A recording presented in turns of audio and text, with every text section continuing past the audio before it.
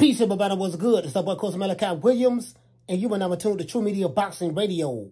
Let's go. For the thousands in attendance and the millions watching around the world, ladies and gentlemen, uh, let's get ready to rumble! All right, everybody, check this out. Um, I'm listening to, um, actually, I was reading an article, you know, uh, uh, by Frank Warren. And Frank Warren said that um, Deontay's Wilder uh, manager, Shelly Finkel, manager and advisor, told him that the, reason why Deontay Wilder did not perform good against Joseph Parker, the same guy that Anthony Joshua beat, and um, Alexander Usyk, I think a couple of people beat him. He, he got like three losses. Um, uh, the reason why he didn't perform well was because Deontay Wilder stayed in the cryo chamber, what they call it, the cryo chamber or the ISO chamber, or whatever the case may be, too long. And basically, this is something that, um, it's like a chamber that's cold, and it's supposed to help your body heal fast from recovery, right? Help you heal, help you recover faster. I think it's called the cryo chamber or something of that sort. You can't make this up. So basically, the reason why Deontay Wilder fought the way he always fought you know, on the ropes with his arms spread out, doing like this here, hitting people on top of the head with the hammer punch, swinging windmill punches, and crossing his legs while moving laterally from left to right. The cryo chamber, he stayed in it too long, according to what um, Shelly Finkel was saying.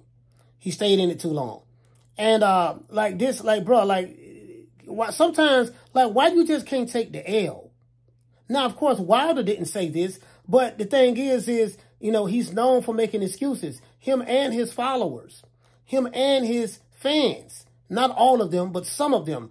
There's a strong group online, better known as the Wakandas from the Alphabet Boy community, with their leader Jabba the Hutt. Like, they're known for making excuses. You get what I'm saying? So it's like, dude, you ain't making Wilder look good at all by saying this.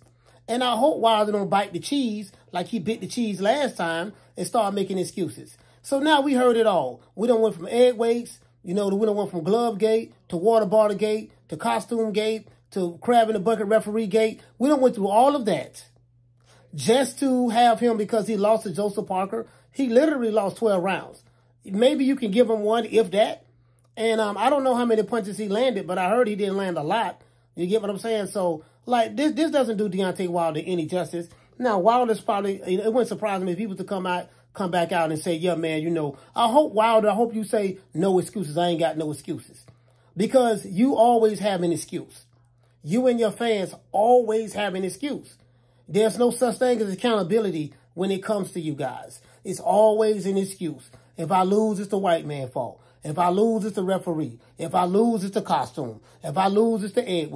If I lose, it's because I was twerking. If I lose, it's because I was pregnant. If I lose, it's because it was the crab in the bucket referee. If I lose, it's because it's the Nevada, you know, athletic commission. It's all, if I lose, it's never your fault. It's always an excuse for why this guy loses. And it makes him look bad. Did you get what I'm saying? So I saw that to say this, man. Listen, man, cryo chamber, whatever you want to call it, ISO chamber, whatever they call it. Dude, cut it out, please. We don't need no more of this, man. Like, I'm listen. We went through that with the Wilder fans, and then then, then we just getting over the crying from the Errol Spence fans.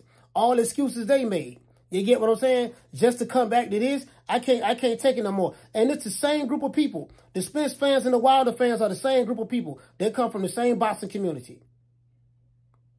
They follow the same school of thought, the land of Wakanda, right? So come on, man. Just cut it out. Let the man take the L. He lost.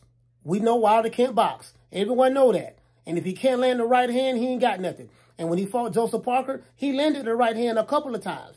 Guess what? It did nothing to Joseph Parker. Nothing. Did you get what I'm saying? So it's over with. He had his run. He, if I'm if I'm Wilder, I would get on my knees and beg Anthony Joshua for a payday. Because you had a chance to get that fight years ago. You admitted it. I have the receipt where you said you do know that um, I was offered more money to fight Joshua than I was uh, to fight you. But but I but but um but I did keep my word as a man, and I'm fighting you again. Remember you told Deontay Deontay Wilder. Remember you told Tyson Fury that I had a receipt. You still got the tweet up. I had a receipt. Did you get what I'm saying?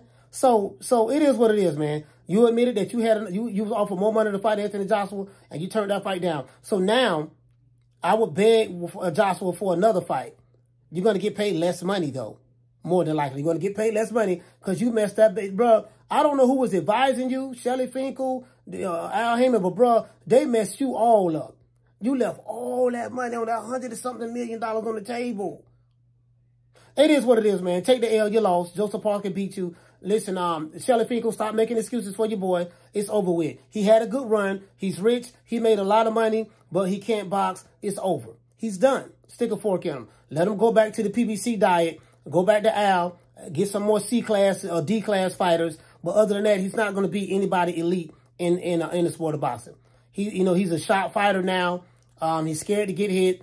You know, the the, the, the three fights that he had with Tyson Fury took a whole lot out of him, and he's just not there anymore.